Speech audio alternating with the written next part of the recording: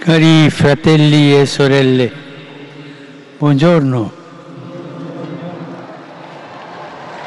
Il libro degli Atti degli Apostoli narra quanto accade a Gerusalemme 50 giorni dopo la Pasqua di Gesù. I discepoli erano riuniti nel cenacolo e con loro c'era la Vergine Maria.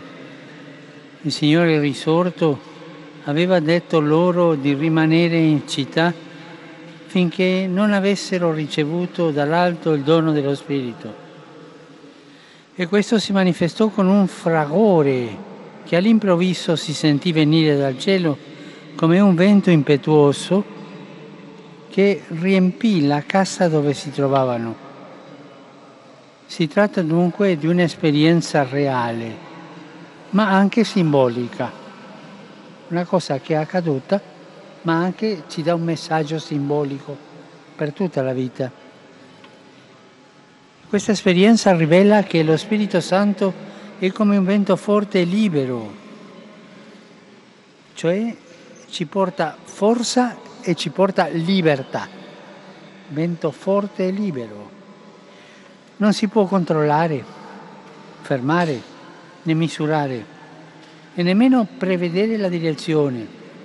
Non si lascia inquadrare nelle nostre esigenze umane, che noi cerchiamo sempre di inquadrare le cose. Non si lascia inquadrare nei nostri schemi, nei nostri pregiudizi.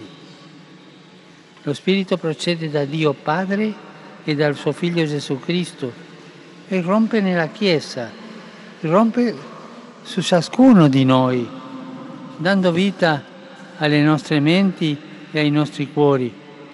Come dice il credo, è Signore e dà vita.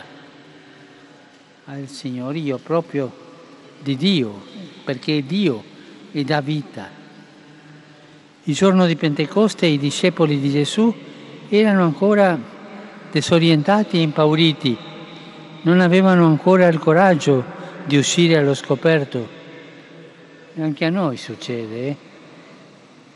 Preferiamo rimanere a volte tra le mura protettive dei nostri ambienti, ma il Signore sa come raggiungerci e aprire le porte del nostro cuore.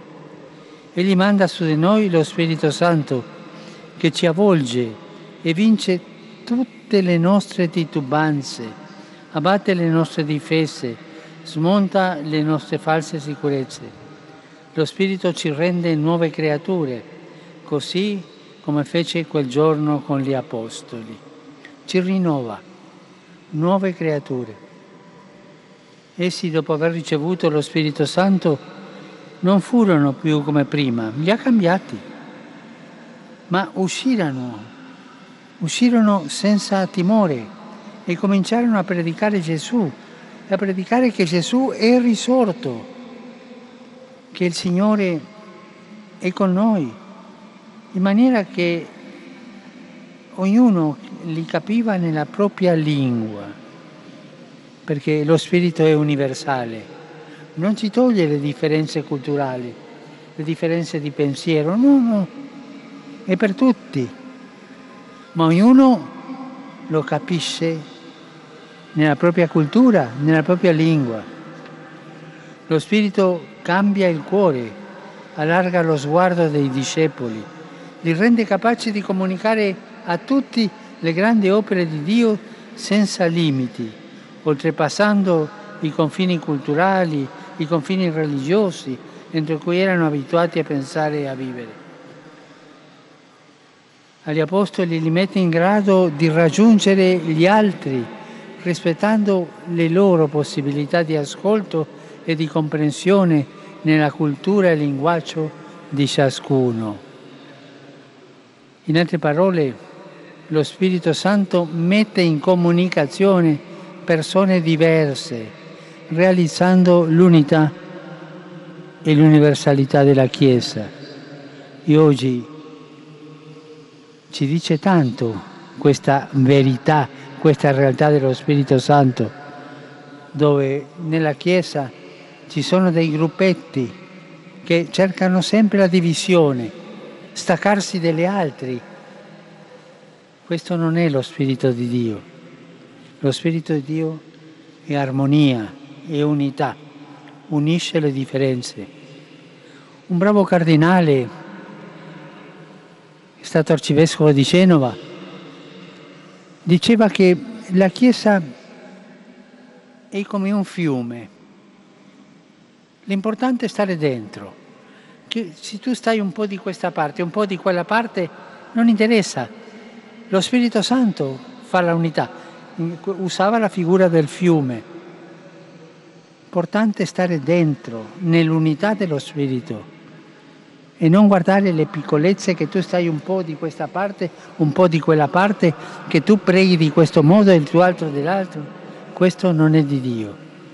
La Chiesa è per tutti, per tutti come, come ha fatto vedere lo Spirito Santo il giorno di Pentecoste.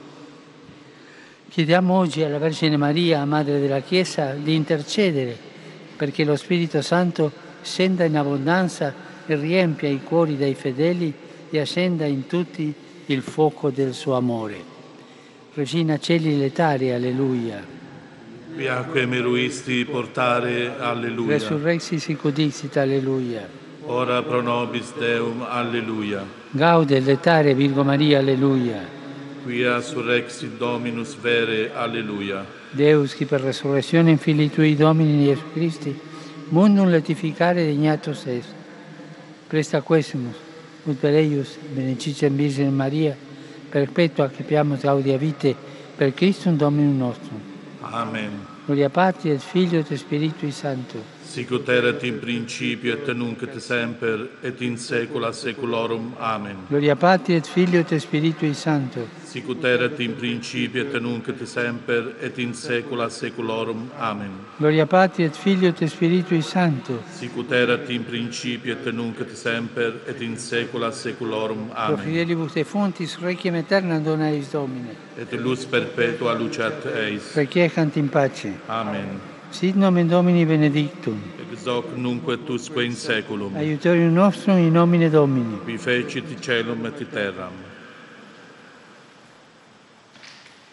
Benedicat vos omnipotens Deus, Pater et Filius et Spiritus Sanctus. Amen. Amen.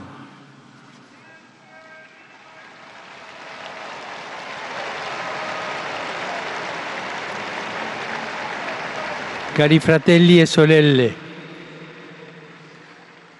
affido alle preghiere di tutti voi la situazione in Colombia, che continua ad essere preoccupante. In questa solennità di Pentecoste prego perché l'amato popolo colombiano sappia accogliere i doni dello Spirito Santo affinché attraverso un dialogo serio si possano trovare soluzioni giuste ai molteplici problemi di cui soffrono, specialmente i più poveri, dovuto alla pandemia. Esorto tutti a evitare per ragioni umanitarie comportamenti dannosi per la popolazione nell'esercizio del diritto alla protesta pacifica. Preghiamo anche per le popolazioni della città di Goma, nella Repubblica Democratica del Congo, costrette a fuggire a causa dell'eruzione del grande vulcano Nyiragongo. I fedeli cattolici in Cina domani celebrano la festa della Beata Vergine Maria, aiuto dei cristiani e celeste patrona del loro grande paese. La Madre del Signore e della Chiesa è venerata con particolare devozione nel santuario di Sheshan a Shanghai ed è invocata assiduamente dalle famiglie cristiane nelle prove e nelle speranze della vita quotidiana. Quanto è buono e quanto è necessario che i membri di una famiglia e di una comunità cristiana siano sempre più uniti nell'amore, nella fede.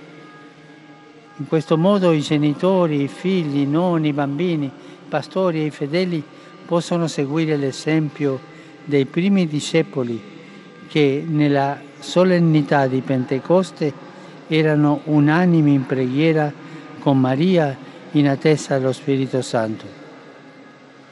Vi invito perciò ad accompagnare con la preghiera i fedeli cristiani in Cina, nostri carissimi fratelli e sorelle, che tengo nel profondo del mio cuore. Lo Spirito Santo, protagonista della missione della Chiesa nel mondo, li guidi e li aiuti ad essere portatori del lieto annuncio, testimoni di bontà, di carità e costruttori nella sua patria di giustizia e di pace.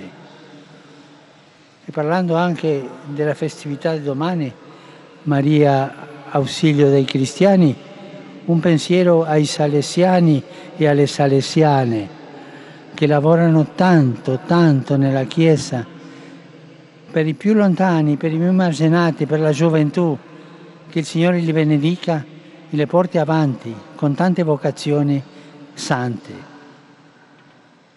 Domani si conclude l'anno Laudato Si. Ringrazio quanti hanno partecipato con numerose iniziative in tutto il mondo. È un cammino che dobbiamo continuare insieme, ascoltando il grido della terra e dei poveri. Per questo partirà subito la piattaforma Laudato Si, un percorso operativo di sette anni che guiderà le famiglie, le comunità parrocchiali e diocesane, le scuole e le università, gli ospedali, le imprese, i gruppi, i movimenti, le organizzazioni, gli istituti religiosi ad assumere uno stile di vita sostenibile. e auguri a tanti animatori che oggi ricevono il mandato di diffondere il Vangelo della creazione e di prendersi cura della nostra casa comune. Saluto cordialmente tutti voi, provenienti da Roma, dall'Italia e di altri paesi. Vedo qui la Polonia, il Messico, il Cile, il Panama e tanti altri, vedo bandiere lì, e la Colombia. Grazie di essere presenti. In particolare saluto i giovani del movimento dei focolari Sono rumorosi questi focolari eh? E i partecipanti della camminata dell'amicizia con le forze dell'ordine. A tutti voi auguro una buona domenica. Per favore non dimenticatevi di pregare per me. Buon pranzo e arrivederci.